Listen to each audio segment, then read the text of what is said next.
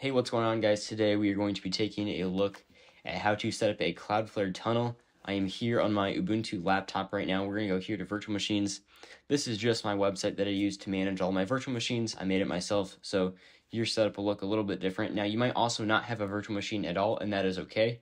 This is just, like I said, this is my setup, so I'm going to enable my SSH so I can connect to it. But basically what you're going to want to do, you're going to want to SSH into your server. Now, this could be a Raspberry Pi, it could be a Azure virtual machine in the cloud, uh, it could be your own virtual machine you're running on your own server. It really does not matter. Basically, what you need is just a server that has an internet connection. You don't need a port forward. You don't need to do anything. And that is the um, amazing thing about Cloudflare tunnels is that you don't need a port forward. So we're going to log in here to our virtual machine. As you can see, I'm now logged in. So this may look a bit weird, um, but I'm connected through my web browser to my virtual machine. Now, you're not going to have the same connection, I can tell you that, um, but you might, which is fine too. So like I said, just get connected here to your virtual machine, and we'll get started. So the first thing you're going to want to do, you're going to want to update your virtual machine just to make sure everything is up to date. So we're going to say sudo apt update dash y and sudo apt upgrade dash y. You're going to run that command, and that's going to update your available packages as well as um, upgrade your currently installed packages. So obviously this virtual machine does not have any updates that it completed. Yours might take a little longer, and that's fine. Like I said, I'm running Ubuntu 22.04 uh, on this laptop and on the virtual machine. So now we're going to say sudo, oops, sudo apt auto remove dash y. So this is going to remove anything you don't need just to clean it up. And that is all. So now we're going to open up Cloudflare. We're going to go dash.cloudflare.com. And I'm going to open up my password manager here. You're not going to be able to see this. I'm going to log in here to Cloudflare. Okay, so we are now logged in to Cloudflare. What you're going to do, you're going to click on Zero Trust over here on the left.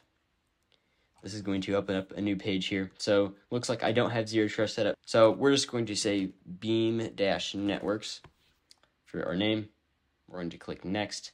So we're not going to pay for this. We're going to use the free version. We're going to select that plan and proceed to payment. You don't need a payment method. Oh, you do need a payment method. All right, so once you have created your Cloudflare Zero Trust account, um, yeah, you're here. So what you're going to do, you're going to go over to Access, and you're going to go down to Tunnels, and we're going to create Tunnel, and we're just going to name this. I'm just going to say Tunnel 1. So basically, you only need one tunnel per, like, location. So let's say you have a Raspberry Pi at your house, you have a Raspberry Pi at your friend's house you're going to want a tunnel for each of those Raspberry Pis. But if you have two Raspberry Pis at your house, you're going to just want one tunnel. And that one Raspberry Pi can just route everything. So we're going to save this tunnel, and it's going to give us a command. So we're going to select Debian, and we're going to choose 64-bit. And as you can see, there's a command here. Now, by the time you're seeing this, this will all be gone, so don't even try to use this Cloudflare command. We're going to copy this, and we're going to move this over, and we're just going to paste it in here. So basically, this is going to set up our tunnel and install it. It is literally one command. It is the simplest thing ever. So yeah, so we're going to go back here and we're going to click next at the bottom here. That is basically all. So we're going to make a new subdomain. We're just going to say test123 and our domain is going to be elevatedtech.systems. I'm to say localhost. Okay, so real quick, basically what I was um, alluding to later or earlier when I said you only need one Raspberry Pi uh, what you can do where it says HTTP localhost, instead of saying localhost, you can type in the local IP address of your other Raspberry Pi or your other server or whatever it may be. You don't need to necessarily route that to localhost. It can be anything on your network. Cloudflare can access it, which is why tunnels are so cool.